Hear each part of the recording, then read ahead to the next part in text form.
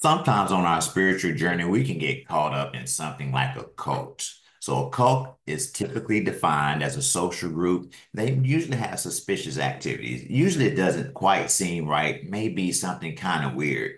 So, they're usually led by a charismatic figure, it's often considered like Jesus or like God. They can do no wrong. That's another warning sign.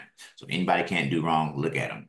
To maintain control, they will isolate you from your family and friends because they want you all to yourself so they can start working on that mind control.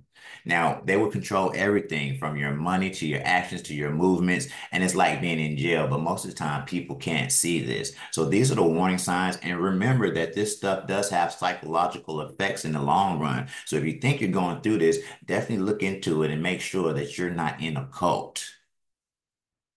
Thanks for listening. Sound